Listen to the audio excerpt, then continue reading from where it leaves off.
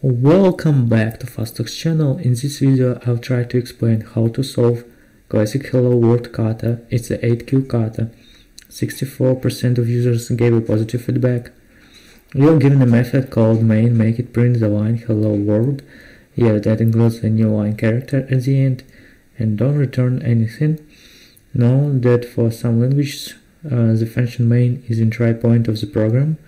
Here's how it will be tested solution.main, parameter first, parameter second, hints, check your references, uh, second, think about the scope of your method, search for prolog you can use write but there are better ways, and fourth, if you still don't get it, probably you can define main as an attribute of the solution class that accepts a single argument and that only prints hello world without any return so let's uh, go uh, let's go coding.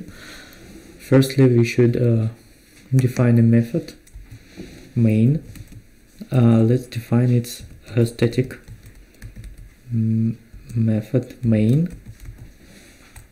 And it should return just uh, hello world. We should print it with console.log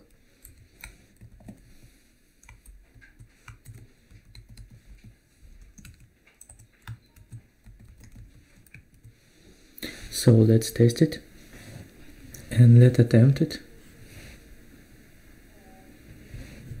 And let's submit our final kata solution. So thanks for watching. Bye